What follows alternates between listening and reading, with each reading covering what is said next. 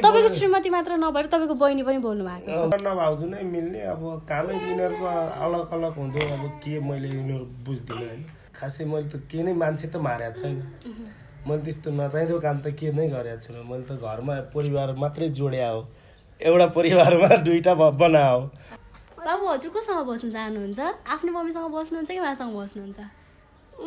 आफ्नै मम्मीसित। त तपाईँले चाहिँ आफ्नो श्रीमती हुँदाहुँदै उहाँलाई ल्याउनु भएको हो या उहाँ चाहिँ अन्तै गइसकेपछि उहाँलाई होइन त्यस्तो होइन?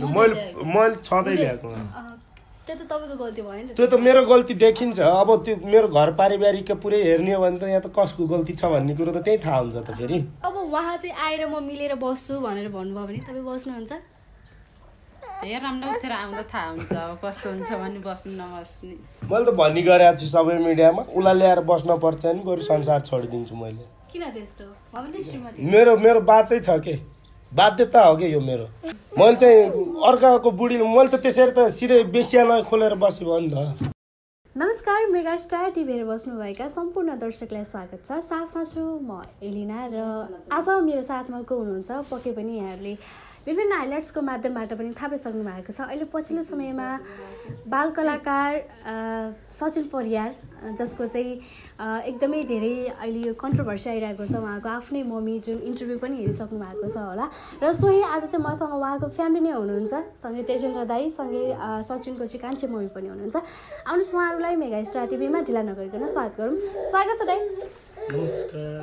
हजुर स्वागत छ।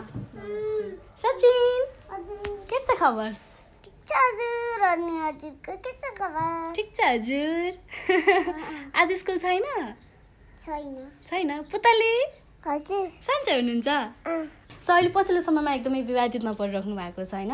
हजुरको जुन जेठी श्रीमती चाहिँ अहिले मिडियामा आएर चाहिँ धेरै कुराहरू बोलिराख्नु भएको छ यो विषयलाई कसरी हेरिराख्नु भएको छ दाइ तपाईँले? खास त यो विषयलाई त नल्याउँदा नि हुन्थ्यो मैले त भन्ने कुरो हो के अब बोल सोधिहाल्नु नि त नभनौँ भन्दै पनि भन्न बोल्नै पर्यो नि त। यो विषयलाई त मैले ल्याएको होइन म केही विवादितमा छैन। मलाई चाहिँ त्यस्तो विवाद त्यो मैले मैले गर्थेँ भने त पहिल्यै गरिसक्थेँ विवाद। मैले गर्दिनँ। मलाई विवादमा म छैन उहाँले नै गर्नुभएको छ। अब विवाद त अब आफैले आफै माथि आउने काम गर्नुभएको छ आफ्नै टाउकोमा उहाँको इन्टरभ्यू हेर्नुभयो कि हेर्नु भएन धेरै हेरेँ। हेर्नुभयो कतिको सत्य लाग्यो कतिको झुट लाग्यो कतिको कुराहरू सत्य छ कतिको झुट छ? होइन सयवटा कुरा गर्दामा सयवटै राम्रो हुन्छ भन्ने हुन्न। कतिपय कुराहरू त अब झुट नै धेरै जसो त झुट नै छ होइन? अब त्यस्तो अब के भनौँ खै यसमा त धेरै नबोलाउँ कि जस्तै नि भइरहेको छ। बोल्नु त पर्यो नि त किनकि तपाईँको श्रीमती आएर मिडियामा बोलिसक्नु भएको छ होइन? तपाईँको श्रीमती मात्र नभएर तपाईँको बहिनी पनि बोल्नु भएको छ यिनीहरू त अब नन्न भाउजू नै मिल्ने अब कामै यिनीहरूको अलग अलग हुँदो अब के मैले यिनीहरू बुझ्दिनँ होइन? तर अब आफ्नै दिदी बहिनीहरूले नै त्यस्तो भनेपछि त अब म खासै मैले त के नै मान्छे त मारेको छैन। मैले त्यस्तो नचाहिँदो काम त के नै गरेको छुइनँ। मैले त घरमा परिवार मात्रै जोड्या हो। एउटा परिवारमा दुइटा बना हो तर चाहिँ मैले चाहिँ त्यस्तो मान्छे नै मार्ने दुनियाँ चोर्ने ढाँट्ने गरेर हिँडेँ त्यस्तो मैले ज्यानै मारेर म त्यस्तो काम गरेँ जस्तो त लाग्दैन। होइन र? म त्यस्तो अपराधी अपराधी त अब यसै अपराधी हो। अब बुढी हुँदा हुँदै अर्की बुढी पनि चाहिने होइन? त्यो जति अपराध त केही पनि होइन। अब के भनौँ होइन? त्यही पनि मैले त्यति गर्दा गर्दै नि अब सँगसँगै मिलाएर राखेकै हो राख्न खोजेकै हो। अब छोरछोरीलाई ल्याएर छोडिदिएर आज जस्तो छोडिदिएर ना यो सचिनलाई र नानीलाई आज जस्तो साँझ छोडिदिएर साँझै त्यही घरबाट बस भन्दा भन्दै स्याट्ट छोडिदिएर गएर अर्को दिन अनि अर्कोसित गएपछि। अनि अहिले चाहिँ बिहा भएको छैन भन्ने कुरा छ होइन? अब उताको बुढाले नि उसलाई धोका दिएछ होइन? उसको बानी बिहोरै त्यस्तै छ र धोका दिए होला र अहिले भाँडा माझेर खाइरहेको छु भनिरहेछ होटेलमा। अब उपाय नै त्यही हो। छ कि गिटी बोकेर बाउला बोकेर चाहिँ सचिनलाई पढाएको थिएँ सचिनलाई पालेको थिएँ भन्ने कुराहरू पनि आएको छ। होइन अब अब एक दिन काम गरे होला काम अब घरमा गाउँमा बस्दा काम गरे होला नगरे होला भन्दिनँ। मैले त्यो उसले गिटी फोरेको मैले देखेकै छैन। है?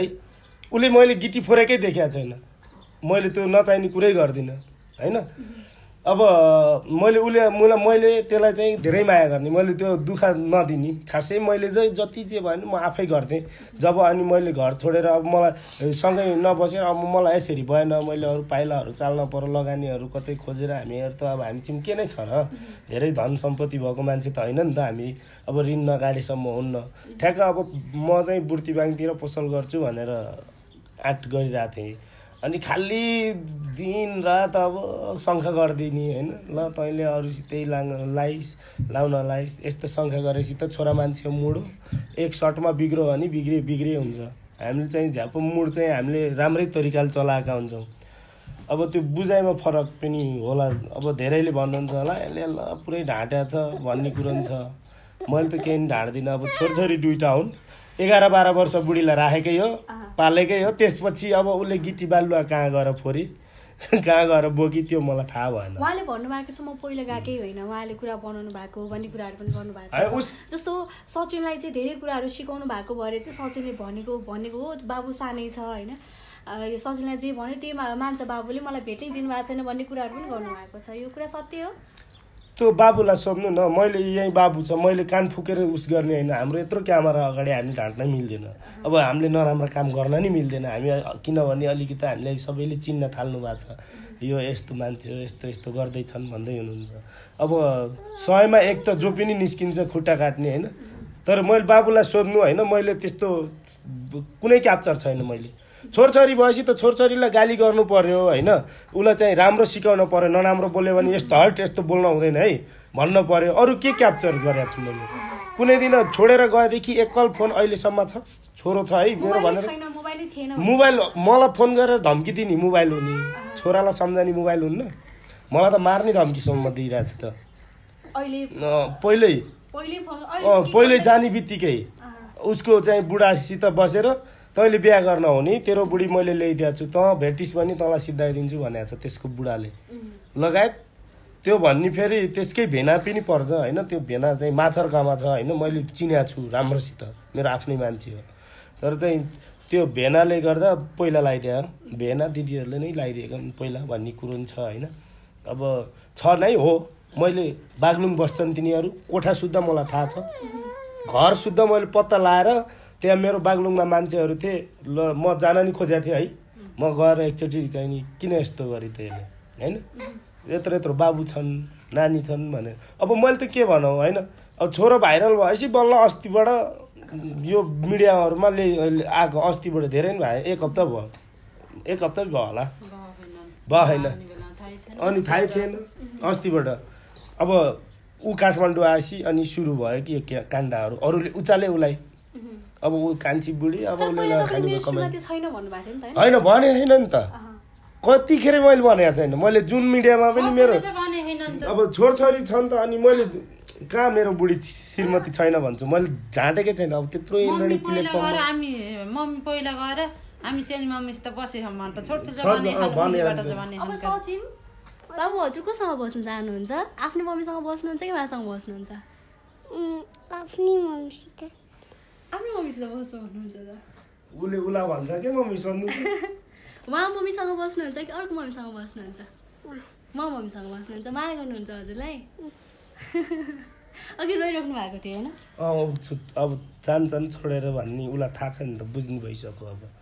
अब म बिना त अब यिनीहरू त छोरछोरीलाई अब मैले नराम्रो गर्ने भए अब छोरीले अब त- गएदेखि अब छोरी मैसित अब राखेँ अब उनले पनि आमाको भूमिका एकदम होइन एकदम तरिकाले निभाएर यी सचिनलाई मैले त्यो सरिता बुढीलाई ल्याएर बस्थेँ भने सचिन उहीँको उहीँ हुन्थ्यो क्या जहाँको त्यहीँ मैले जब ल्याएर मेरो ठाउँमा राखेँ मे- मैले क्याप्चर गरेर छोरालाई अब मैले जब राखेँ राखेपछि अनि पुरै भाइरल छोरालाई चाहिँ मैले साथीहरू म मेरा त्यस्तै होइन अब मन बस्नेतहरू यिनीहरू त अब हामी त एउटै नजिकमा होइन।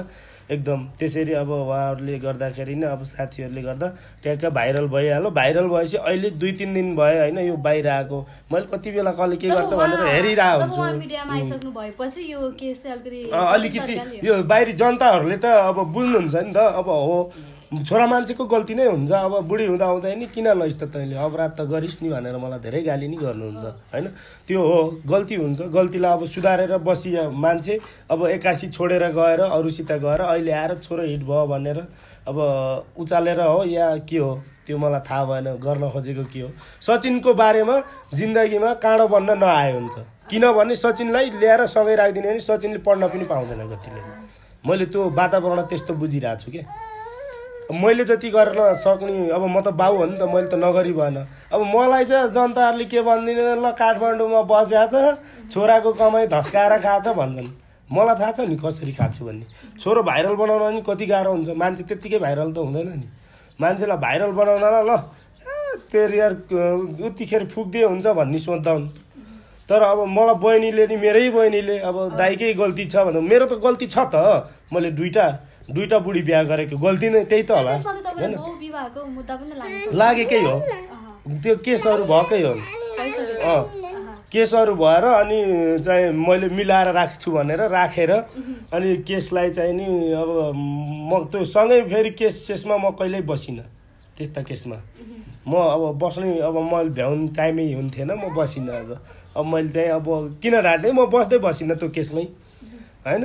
म आफ्नो आफ्नो पाराबाट चल्दै जाँदाखेरि मैले बाहिर बाहिरबाट कुरा गरेर अनि बाहिरबाट म त्यो उस चौकीसम्म जाने वातावरण मैले चाहिँ गरिनँ। उनीहरू त अब अब लकडाउन थियो लकडाउनको बेलामा अब सबै आफ्नो आफ्नो लाइनतिरलाई अब त्यही जो बहिनी मेरी बोली छ अहिले मिडियामा त्यो बहिनीले त सुनि कि त छि सुनिसक्यो होला नेपाल अपडेट त उनीहरूलाई ठ्याक्कै आइहाल्छ अगाडि हेर्छन् उतिखेर राख्ने बित्तिकै। मैले भनेको छु सबै मिडियाबाट। तर कहिल्यै पनि बोल्ने बेला अलिक बुझेर बोल्नु। कहाँ के बोल्ने हो भन्ने भनेर मैले भन्न चाहन्छु। अब एक दिन न एक दिन त भेट त हुन्छ नि त। अब दाइ म त मेरो म मेरो बहिनी हो यार। त्यो पो अर्का छोरी मैले ल्याएको थिएँ मेरो स्वास्नी भएर उसले दुनियाँभर गरी होइन देशमा चाहिँ हङ्गामा मचाउन खोजे चाहिँ गर्ने। त्यो मैले केही ठुलो कुरो छैन त्यसमा त मैले त नर्मलै सोध्छु अब म मसित के चाहेको चाहने कुरा होइन? मिडियामा भन्दा यथार्थै बसेर अदालतमै बसेर कुरा गर्न मन छ भने पनि मैले गर्न सक्छु। अब उसलाई चाहिँ माया कमी पनि दिएको होइन। नजा त जाँदै गइहाल त मसित बस्नै हुन्न भनेको नि होइन। मैले त छोपेर दुइटै बुढीलाई सँगै हातमा छोपेर दुइटा हातले एकान्टा हातमा आइन त तिम्रो मैले जे जे भन्छु त्यही त्यही मान। होइन भने तिम्रो ड्युटी नै जाऊ म एक्लै बस्छु छोरछोरी ल्याएर। मैले यस्तै भनेको? तपाईँले चाहिँ आफ्नो श्रीमती हुँदा हुँदै उहाँलाई ल्या- ल्याउनु भएको हो या उहाँ चाहिँ अन्त्य गइसकेपछि उहाँलाई होइन त्यस्तो? होइन। मैले मैले छँदै ल्याएको त्यो त तपाईँको गल्ती भयो नि त्यो त मेरो गल्ती देखिन्छ। अब त्यो मेरो घर पारिवारिक पुरै हेर्ने हो भने त यहाँ त कसको गल्ती छ भन्ने कुरो त त्यही थाहा हुन्छ त फेरि होइन? देखाउटेमा पो म छोरा मान्छे मैले बिहा गरिदिइहालेँ होइन? मैले त धेरै सोचेर एकदम सोचेर। मैले यो नगर्ने हो नि म अब सिद्धिन्छु कारणले गर्दाखेरि चाहिँ उहाँलाई लिएर आउनु भयो अब दिनदिनै यार अब केटाहरू उठाउने पिटाउँछु भन्न खोज्ने अब म जत यत्रो उसलाई पनि मलाई कम गाह्रो हुन्थ्यो। जोगी नै गाह्रो हुन्थ्यो त अनि। तपाईँले स्वीकार्नु भयो घरमा श्रीमती हुनुहुन्छ भन्दा भन्दै पनि उहाँलाई? स्वीकारेर त कस्तो प्रश्न होइन हुन्छ नि त घरमा यस्तो छ म कसरी आउनु भन्ने त अलिकति हुन्छ नि त होइन? तपाईँले सहजै उहाँलाई चाहिँ स्वीकार्नु भयो कि? तपाईँ अलिकति गाह्रै भयो। खै भयो त गाह्रो कतिको प्रेसर हुँदो रहेछ अहिले चाहिँ? कतिको तनाव हुँदो रहेछ यी कुराहरूले? खासै त्यस्तो छैन है। ठिकै छ। तनाव त हुने चाहिँ भयो नि। तनावमा लागेपछि त तनाव पो हुन्छ। नहुने कुरो छैन। जस्तो अब उहाँ चाहिँ आएर म मिलेर बस्छु भनेर भन्नुभयो भने तपाईँ बस्नुहुन्छ? राम्रो उठेर आउँदा थाहा हुन्छ अब कस्तो हुन्छ भने बस्नु नबस्ने निदो उठेरै हुन्छ। मैले त भनी गरेको छु सबै मिडियामा उसलाई ल्याएर बस्न पर्छ नि बरु संसार छोडिदिन्छु मैले। किन त्यस्तो? मेरो मेरो बाचै छ के? बाध्यता हो कि यो मेरो? हामी भनेको छोरा मान्छे हो हामी दुइटा कुरा गर्नै मिल्दैन हामीले होइन? मैले चाहिँ अर्काको बुढी मैले त त्यसरी त सिधै बेसियालय खोलेर बसेँ भयो नि त। होइन त? अन्त जानी मछीमा मसँग पुरै प्रमाण छ नि त। मान्छे बकाइदा छन् मसित। मैले मैले चिनेका मान्छेसित पहिला गएको छ त अनि के चाहियो प्रमाण? मैले त दुई चारजना पुलिस लगाएर त्यसको घरमै जान सक्छु। म उहीँ गलकोटको चौकीबाट पुलिसहरू लगाएर घरमा जान सक्छु। मलाई यति इनकेस मलाई चाहिँ जुझ्नै पऱ्यो भने त्यही पनि मसित जुझ्नलाई अलिकति गरा अलिक बलियो गराएरै आउनुपर्छ मैले चाहिँ जुझ्ने भनेर हात हालेर लड्ने जुझ्ने होइन? दिमाग चलाउने कसले पिट्ने? उहाँले त्यही भन्नुभएको छ। ल अहिले पनि सोध्नु होइन अझै पनि। उहाँले त्यो जेसुकै भन्नुहुन्छ होइन उहाँलाई उचालेर भन्नु होला। अब बुढीलाई तपाईँ नि के भन्ने र होइन त्यो मेरो बुढी होइन हो मैले होइन नि भनेको छैन। ढाँट मसँग चल्दैन।